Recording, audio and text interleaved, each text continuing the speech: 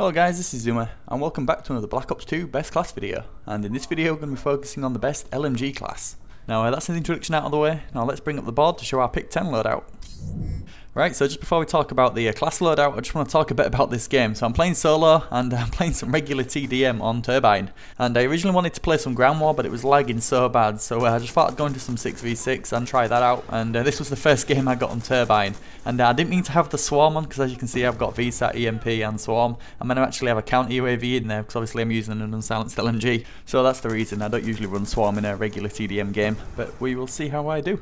So right, let's get back into the class. So for my primary, as you can probably tell, I've got the MK48.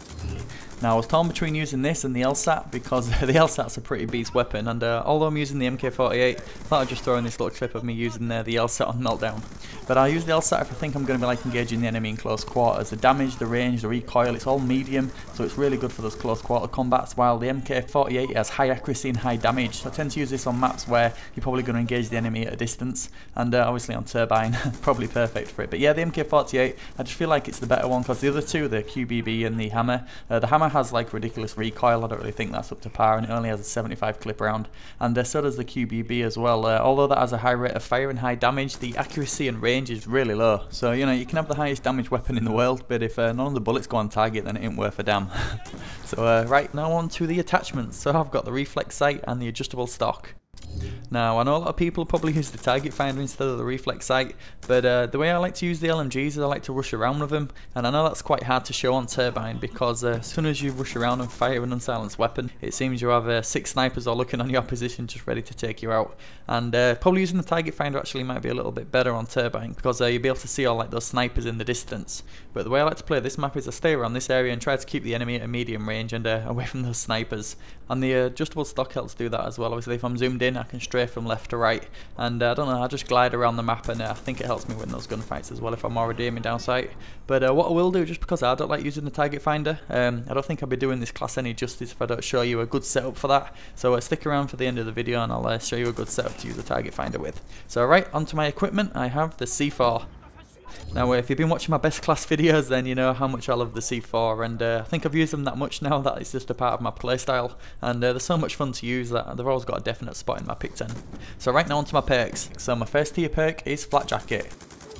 Now this perk does change depending on what kind of game type I'm playing. So I told you before I came from Ground War. So if I was playing Domination then I would put the Flak Jacket on. If I was playing Kill Confirmed then I might put Lightweight or Hardline. And if I had time just before this game started I would have put Hardline on just to get to the higher kill streaks a lot quicker. So right for my second tier perks I've got Toughness and Scavenger. And coming up in a second, you're going to see why having toughness and stock on the LMG is just so effective. So you see these guys there, I strafe right across them, and uh, they're hitting me, but uh, the toughness is keeping all my bullets online. And I use Scavenger mainly to replenish the C4s, as uh, you do get 300 starting rounds with the MK48, but I have run out of bullets before, so uh, I guess Scavenger just uh, makes sure I don't have to pick up another gun. And now we're on to my final perk, which is Dexterity. Now because I like to run around with the LMG, the dexterity just allows me to shoot my bullets faster after sprinting and actually since the latest patch they've actually reduced the ADS time on the LMGs as well so it's uh, like a little added quick draw on it and, uh, and that's just another little addition that's going to work well with this class. And now for my next slot it's going to be taken up by a tactical grenade so I've got the EMP. And now just with all the score streaks in this game and all the equipment then uh, just having an EMP it just allows me to get a lot of points and it's obviously uh, I get it replenished by my scavenger as well. And last but not least because I've got two perks I'm going to need perk 2 greed. And that's it guys, this is what I think is the best LMG class to run and uh, as promised I will show you a good target finder class. So what I'm going to do is I'm going to take away these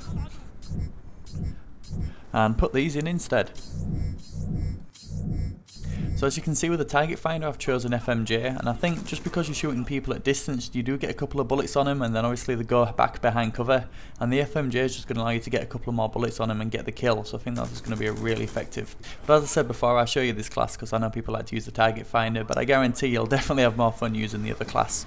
So that's it guys, this is what I think is the best LMG class setups and uh, the final score in this game was 44 and 2 with a 24 gun streak with MK48 so I really hope you enjoyed the gameplay and I hope I earned your like rating and uh, maybe favourite if you think it's helped you out. So that's it guys, and we'll see you in the next video. Thank you so much for watching, and take care.